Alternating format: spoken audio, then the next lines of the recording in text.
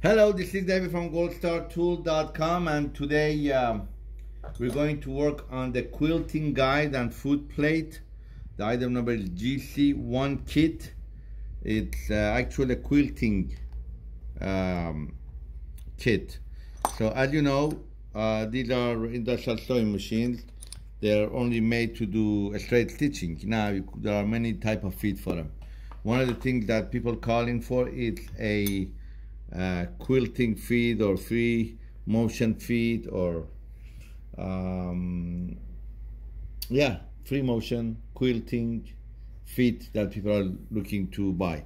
So these are free motion actually that we have. They're wide open one of them is in metal and one of them is clear. And a lot of people wanted to uh, know how to get rid of the or drop the feed dog if you uh, close up. You see the feed dog? You have to drop it uh, if you're using this type of plate so it won't bother with your free motion quilting. So now we have this um, plate and feed dog that you see right here and I'm going to show you how to change them. Very easy, turn off your machine. Very simple, just take this uh, feed dog out, played um, screwed out. Now we're working on a Juki DDL uh, 5550, but again, it does not matter which one you have. They're all the same. Juki, NewTek, uh, whatever it is. Out there, you could use, they use the same plate, the same feed dog. So, you know what people usually say, you have your hand on the way, so they don't know what I'm doing really. Let's see if you could somehow do it. Then my hand is not on the way. And but don't do it too close because then they say, you know what? Okay, so put your hand from underneath, okay, from here, and push this back. I'm gonna cut this thread. Just pull this up. By the way, if you also want to change plate and feed out for heavy duty stuff, you could also use the same thing that I'm doing right now. Take the feed dog out. Very simple.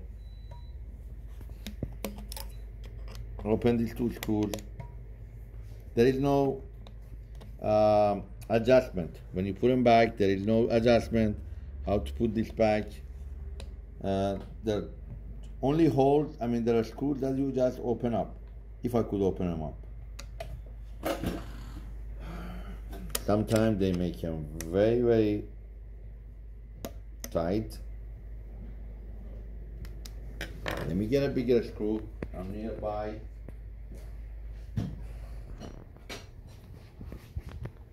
Sometimes the bigger screwdriver makes a huge difference.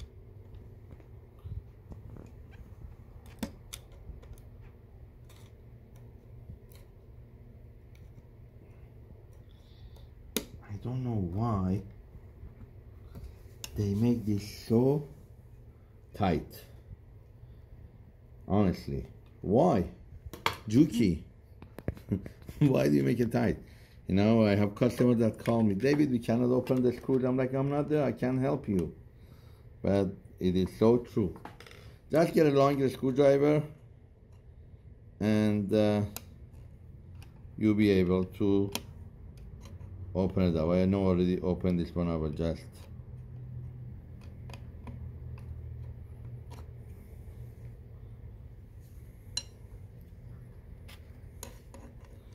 uh, also so with this machine you could get uh, different type of feed dog. Light light to medium medium to heavy heavy to uh, extra heavy duty one for making canvas, plate, you know, all different type of. Um, so opening the screws and changing the feed dog and plate is the same way as I'm doing right now. So we're gonna take the feed dog out. The reason is because the feed dog would um, pretty much guide the fabric or the garment. So we don't want that. We want Just make sure you put this stuff back in here so you don't use them. And while we are at it, you see this number in the back? It does not mean anything. You actually do not need to get a Juki brand plate or a feed dog. You could get a universal one. These two numbers do not mean anything right here. Just get a universal. If you go want to buy original Juki, it will cost you 20 25 30 dollars. Something like this on our website is $3.99 and $3.99. And even Jasmine could help you.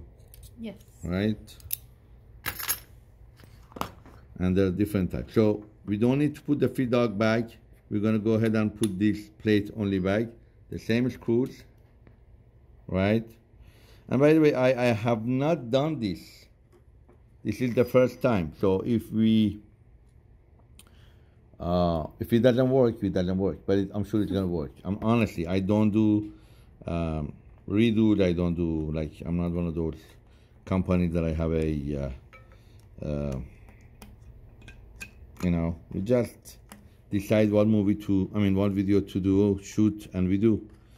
Just tie this, and now I'm gonna tell you, you don't want to tie one really hard and come back. You just you want to do a little bit of this one and a little bit of this one so and then back and forth so it, this plate will sit nicely okay?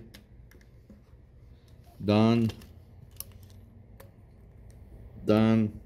Take the plate out. I mean take the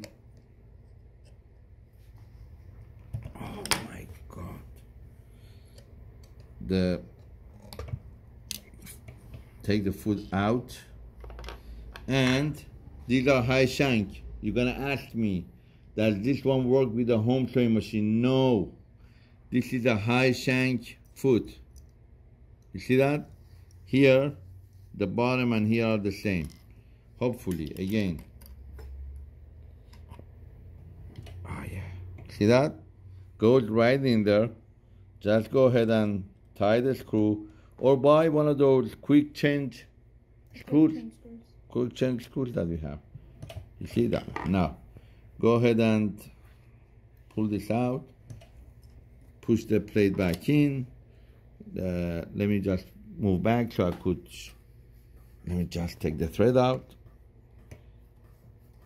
Does it come out or you want to play a game with me? Okay, we don't need to do that.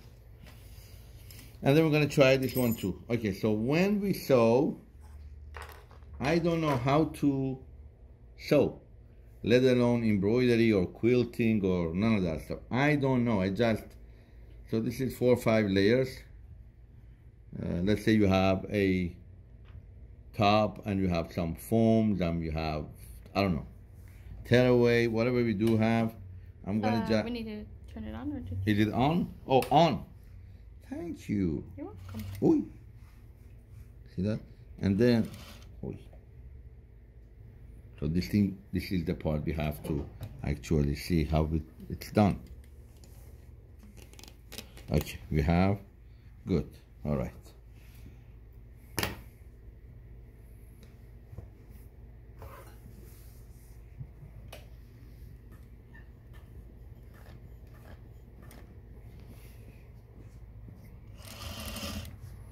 So, okay, so this is too tight. So we have to make sure that it's gonna uh, be able, we have to be able to move this around. Even though, see when this is down, it's too tight. So what we have to do is, you see this right here? We're gonna adjust this. We're gonna open counterclockwise. That's how you adjust the foot pressure. This is the foot, not the needle bar the foot, the pressure right here, needle bar, I mean the foot bar, pressure. Let me get rid of this. Uh, counterclockwise, this washer, and counterclockwise this. You see, I'm coming up, and then just lock this one up. I'm gonna just see if this one is it Okay, so I have to still do it more. I'm gonna pull this up because I cut the thread.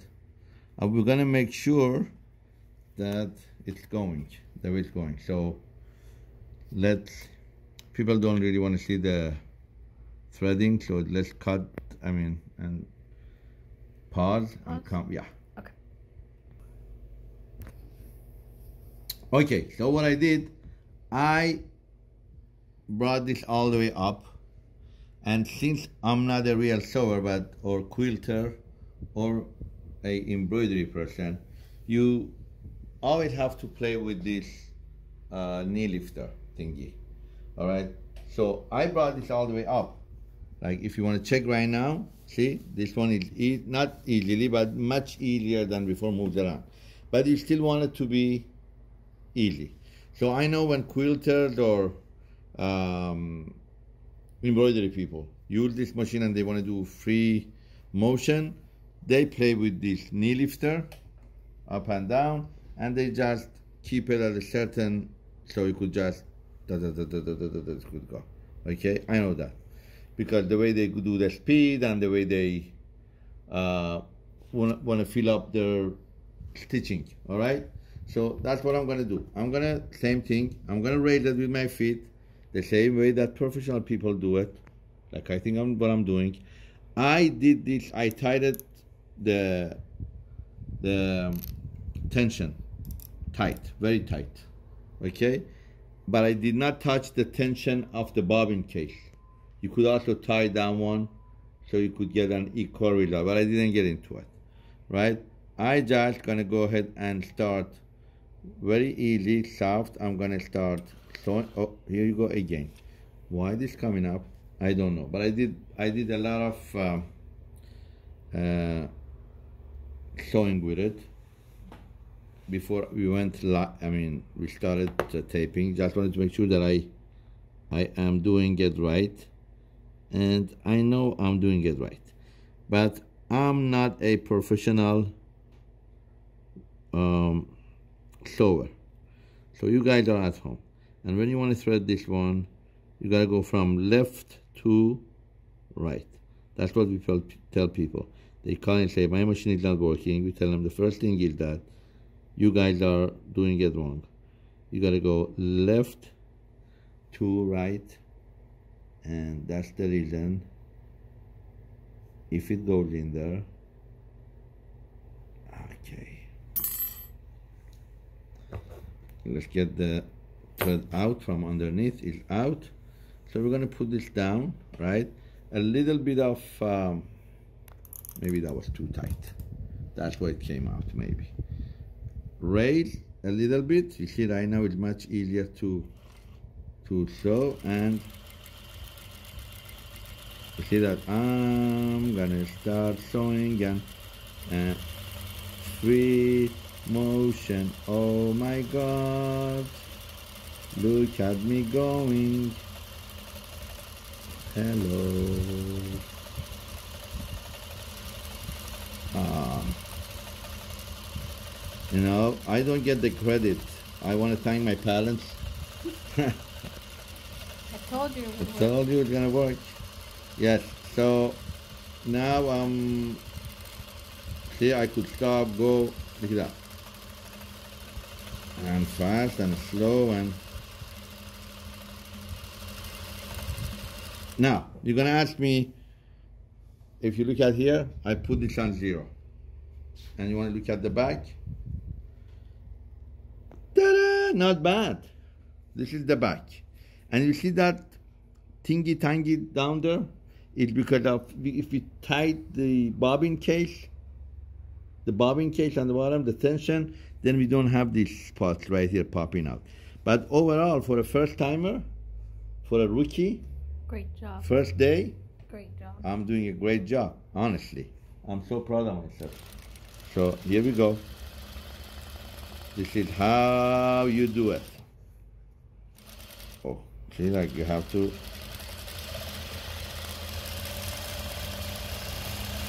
Free motion. Okay, now. Now, you could also use this one the same way. I'm not going to waste your time. You could use these two. We have a video on those two. These two. Uh, clear one.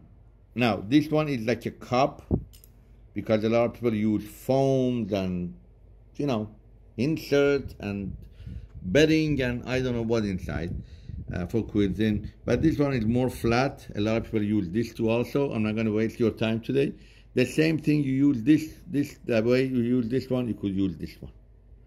All right, this is how you use this part called Quilting Guide Foot and Plate GC 1KIT. KIT stand for Kit. kit. You could use this on all the industrial home uh, sewing machine, uh, shank, Juki, Brother, Nutec, Nutec, go Nutec. Uh, and um, thank you for watching. Thumbs up, like, share our video, and have a Golden day. have a golden day. Thank you for watching.